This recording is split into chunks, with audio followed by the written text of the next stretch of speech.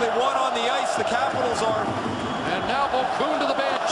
Extra attacker. Huge hit on Hendricks. That's going to be a penalty. And Washington's going to get a late power play as Eberle touches the puck. And Andy Sutton, with that huge jolt on Hendricks, draws the fourth Oiler penalty of the night.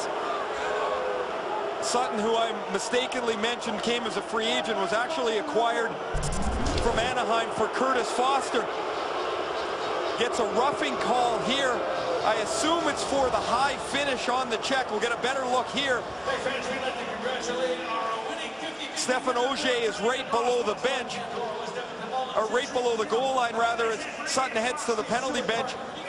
And the argument from his is that Hendricks ducked as he made contact. That's a tough call for, for the Oilers to stomach at this juncture. Now, last year they were... Hendricks kicks it down the wing, smoked along the boards, and that's a penalty. Long blast, Carlson cuffed away by Hobby Khabibulin. Washington has a late third period power play. The call against Edmonton. And it's going to be Sutton who's been throwing around his body all night long. Renney not happy. It's going to be a roughing call. Looked like a pretty good check, but it's to the head.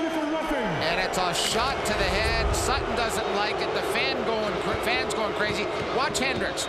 There it is, Joe. I mean, it's right in the center of the camera. It doesn't get any more blatant than that. You cannot give a player a headshot.